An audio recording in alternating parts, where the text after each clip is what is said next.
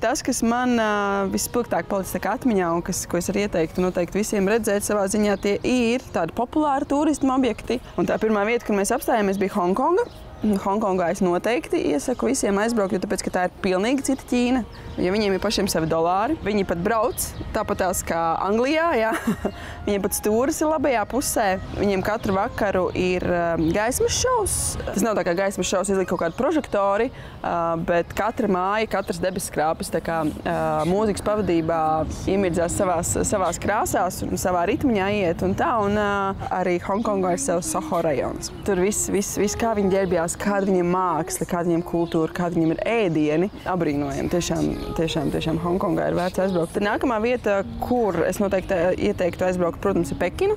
Pekina ar savu aizliegto pilsētu, vēsturi saistītu ar to impērijas ārprātu. Lielam godīgs, jo tikai nesen attaisīja vaļā apmeklētājiem. Tur nedrīkstēja tā kā neviens, neviens uh, svešinieks tikt iekšā. Un, un kaut kas ļoti līdzīgs, bet savādāka formāta ir šai aizliegtai pilsētai. Protams, imperatoriem arī vajadzēja vasarā kaut kur uzturēties. Un tā kā vasaras pils. Un ļoti interesanti, tad, kad iebrauc uz to vietu, sestdienās vai svētdienās, tad jāiet uh, ir caur tādu kā parku.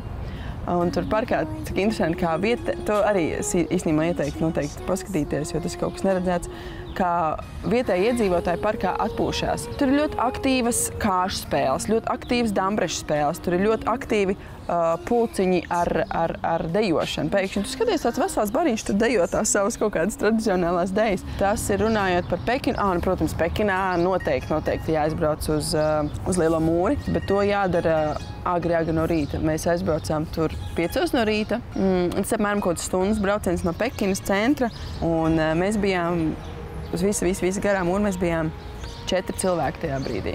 Un tad, kad sākās tā kā visi pamazām mostās, tad tu nevari izbaudīt to, to, to, to īpašo gaisotni, kas ir, ir iespējams uh, uzlīst un uzrāpot uz dažām no uh, mūra posmiem, kur var redzēt apmēram visu to, nu tā kā horizontā var redzēt to ārprātu.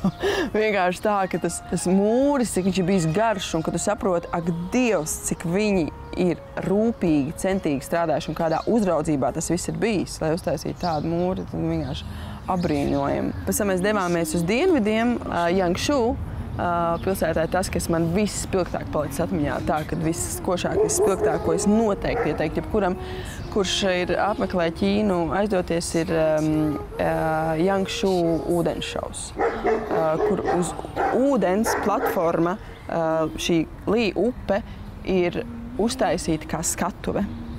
Uh, viss, kas ir dabā, viņiem ir tādi ļoti interesanti arī tie uh, kalni aizmugurē fonā. Viņi tā kā tādi pauguri un visi tie ir izgaismoti. Režisors šim šovam ir ļoti populārs Ķīnā un īstenībā jau arī pasaulē. Arī tas pats, kurš bija režisors Pekinas Olimpiskajām spēlēm atklāšanai un noslēgumam. Un tas, ko tu izjūti ar visu to mūziku, ar visu tas bija kaut kas tā, ka tirpiņas pārskrien pāri un tik izjusti un tik apbrīnojami kā pa ūdens virsmu. Viņi brauc tām mazajām savām laiviņām, brauc un dzied un tās skatos un visu. Un, tur, un tas, entais bars ar tiem cilvēkiem, kas piedalās tajā visā, ir apbrīnojams. Tiešām tas ir kaut kas, kaut kas, kaut kas fantastisks.